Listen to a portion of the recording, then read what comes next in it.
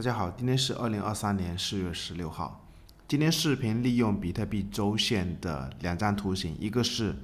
RSI 周线里面的一些技术知识点来判断比特币目前短线还会不会有高点啊？包括前面也是有跟大家讲过这一个 Hash Ribbon 的这一个指标，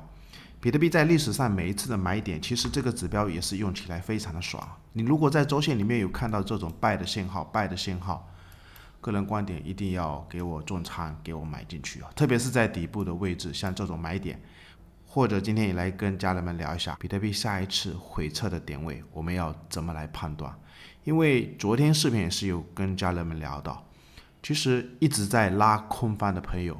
去年一年多在比特币两万下方的底部，天天在帮空翻的朋友，想帮他们的思维给拉回来，其实都是想帮家人们赚钱。然后现在有一些空翻的朋友也是回来了，那我今天再来跟家人们聊一下，也就是粉丝朋友比较关心的问题，下一次回撤的点位要怎么来判断？复盘之前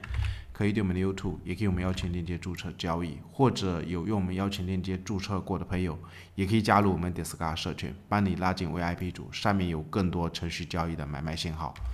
我们先来看一下这个 ISI 周线里面比特币的图形啊。按我的预期，也是去年的时候，在整个底部的时候，天天跟家人们聊到，就是有可能比特币会出一波出牛的行情，就是牛市初期第一波的第一个大级别的第一浪上涨。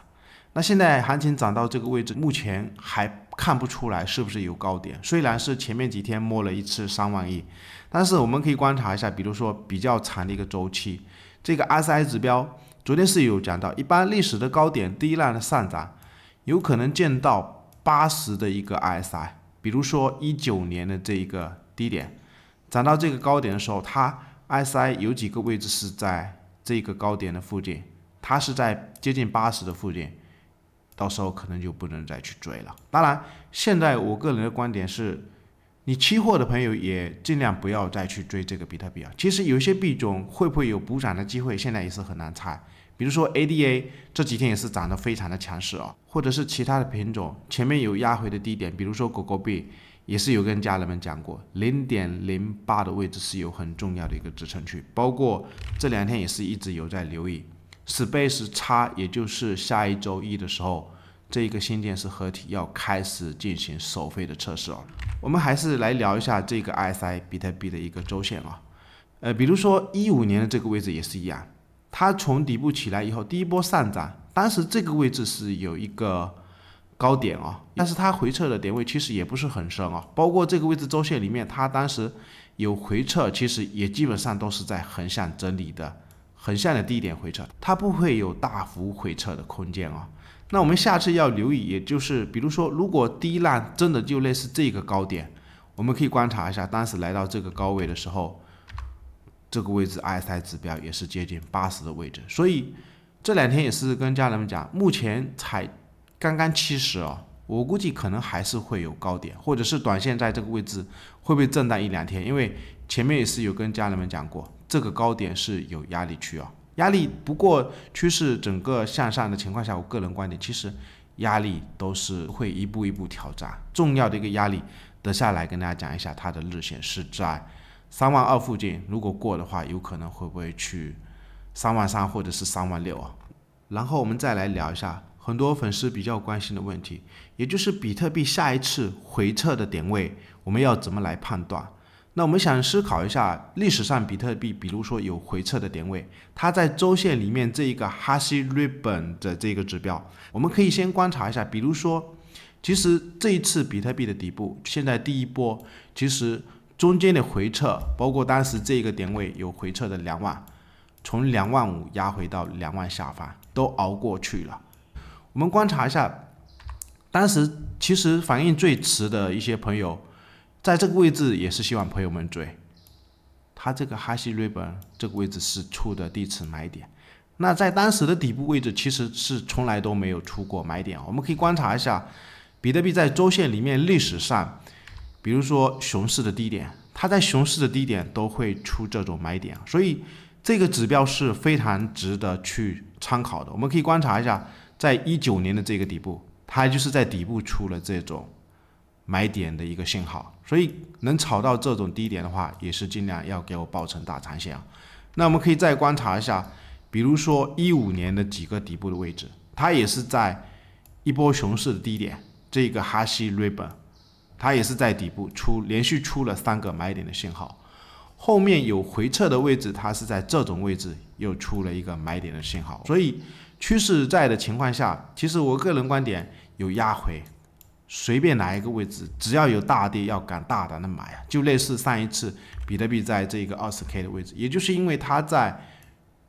月线跟周线里面，它是过了这个高点的趋势，这这两个高点连起来的一个下降趋势，在这一个位置被突破，有压回的低点，这个位置该买就是应该要买啊。那现在没有看到二次的信号，或者是一些家人们，你如果真的手上，因为包括这几天也是有听到一些朋友，我不知道他们是怎么操作的，说上一波在这个压回的时候被吓的，筹码给卖掉，然后这一波差了多少利润都不知道。我是跟他讲，你卖的话也不来问我。然后我们再观察一下一九年这一个周线里面，它买点的信号，在这个位置当时有错过一次啊。其实像这种信号应该也是对的，因为如果没有那个疫情的黑天鹅事件，我相信这个位置信号出来，应该比特币就可能是这个位置的涨幅就是从这边开始复制了。只是有一个黑天鹅事件，我个人观点，后续如果家人们真的有在遇到这种黑天鹅事件，或者是爆发世界大战有暴跌，短线散户会恐慌的杀盘，但是其实长线就是一个大利好啊，就类似这种位置或者这种位置。该买的话还是要买，只要看到有大跌，你真的还有资金，该买的应该也是要买，或者是期货手上要开币本位，到时候要拉高杠杆的倍数，想怎么开，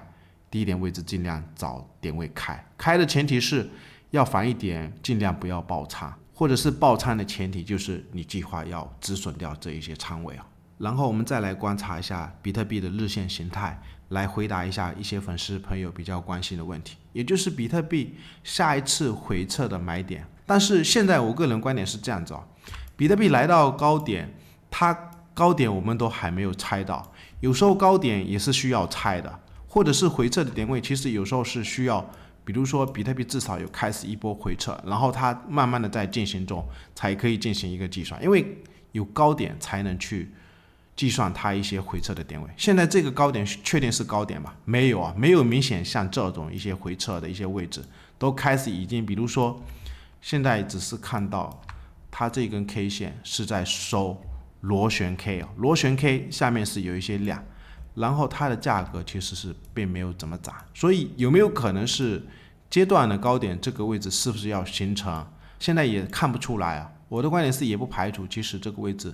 参考的一根 K 线就是这一根突破，目前都是在走箱体震荡，也是不排除。然后我们再观察一下，它现在如果是要在这个位置横盘，趋势目前还是向上的。目前五天的均线它是谈不上一个支撑跟压力，或者是这一个十 MA 下一步也可能会走平，包括这个二十 MA，因为这两天也是很多家人有聊到。就是它这个位置日线里面指标是有一些背离啊，包括这个 MACD 指标也是看得非常的明显，价格在过高，MACD 是没有过高，而且这一次的柱状是比上一次的柱状是分值是要小啊，但是它这个价格目前都还没有破这个二十 MA，所以我个人观点趋势还在的情况下，下一波要计算。比特币回撤的点位，首先有一点，它如果真的破了这类似这种位置啊，破了这个二十 MA，我们到时候再去计算有没有类似这种。当时是跟大家计算的一个点位，就是这个位置不会再破下去啊。现在是还没办法计算，因为就是它高点还不是很明显啊。这个高点确定就是高点嘛，我也不敢这么肯定。那短线的一个压力位，前面是有跟大家讲过，如果我们回顾到就是二零二二年五月份的这个高位。这个矩形的区间一半的位置大约是在三十一 K 附近，三十一 K 其实已经是摸到了，也就是这一根 K 线啊。我们可以看一下这个矩形上方这边不是有一个很大的量，那说明这一个很大的量